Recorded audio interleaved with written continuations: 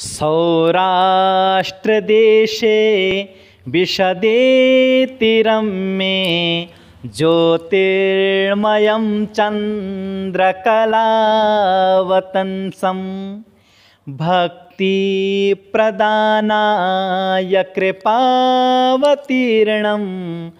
तं सोमनाथं शरणं प्रपद्ये तं सोमनाथं शरणं प्रपद्ये।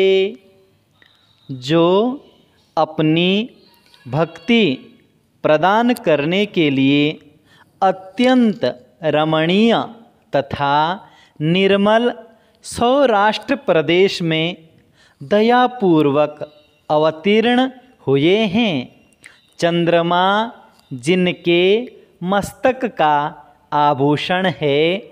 उन ज्योतिर्लिंग स्वरूप भगवान श्री सोमनाथ की शरण में मैं जाता हूँ।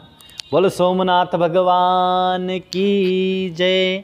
हर हर महादेव शंभो।